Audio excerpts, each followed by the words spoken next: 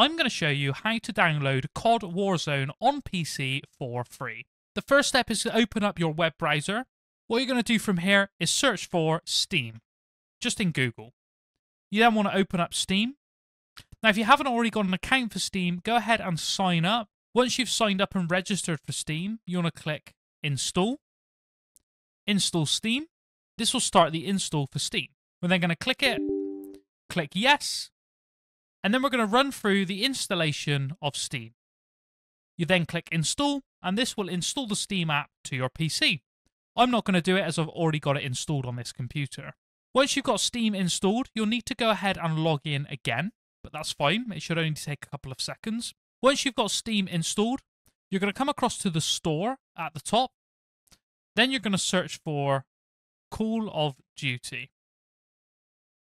Now, you'll see here when we search, we've got two options. We've got Call of Duty and Call of Duty Warzone.